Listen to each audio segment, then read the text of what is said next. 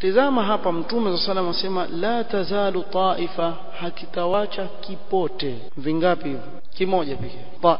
Kipote kimoja. La tazalu taifa. Na katika hadithi ile nyingine tuliyoitaja kulluha fi nnar illa wahida. Kwa hivyo kipote ambacho kiko katika haki ni kimoja peke yake si viwili wala si vitatu. Kinyume na wanavyodai baadhi ya hizbiyun wanaosema kuwa hawa wajifanya ni wao tu ndio kwenye haki. Ndio hivyo ndio hivyo. Haki iko katika kipote kimoja peke yake ndio kitakuwa katika haki kama alivyoeleza mtume sallallahu alayhi wasallam wala si mapote kadhaa. Na hii ni bishara kutoka kwa mtume sallallahu alayhi wasallam kuwa hakutakuwa na zama ambazo watu wote watakuwa katika batil haiwezekani kwa sababu gani mtume alayhi wasallam la tazalu taifa kwa hivyo hakitawacha kilikuwepo na kitaendelea kuwepo min ummati ala alhaqi mansura لا يضرهم من خذلهم حتى يأتي أمر الله شيخ الإسلام كسيما المنصورة أي المؤيدة على من خالفها